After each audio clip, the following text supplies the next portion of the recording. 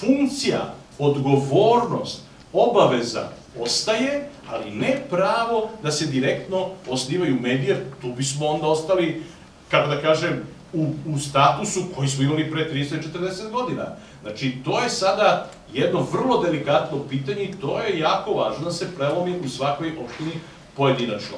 Znači, sad je pitanje kako to uraditi, svi mi sada tapkamo u prostoru koji do sada nama bio nejasan, jer se radi o novim zakonima, propustili smo mnogo vremena, jer je još 2002. i 2003. godine zakonima bila predviđena vlasnička transformacija, vidite kad je to bilo, to je bilo pre 12-13 godina, nismo ništa uradili, sada imamo ove, nažalost, dosta kratke rokove o kojima ljudi govore, da smo ranije možda krenuli u sve to.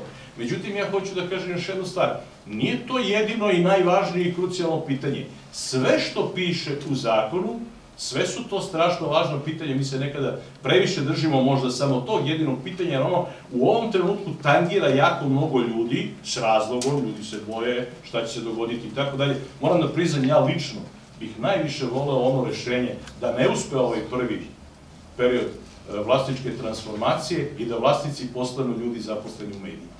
To bih najviše voleo, zato što znam da bi onda profesionalci odlučivali o tome kako taj medij da radi. Ja bih to najviše voleo, iako ja ne bih bio nigde vlasnik ni jednog jedinog procenta. Ali to ćemo da vidimo, to ćemo da vidimo sada kako će se to dogoditi.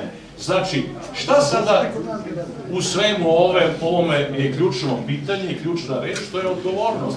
Znači, svi moraju odgovorno da taj posao obave do kraja i vlast, ministarstvo, agencija za privatizaciju, sami mediji, Naravno, i dalje tu jako važna uloga i medijskih udruženja i medijskih asocijacija i razume se i sindikata, jer će neki ljudi da bome, verovatno, možda tu i tamo negde ostati bez posla i to moramo da imamo u vidu.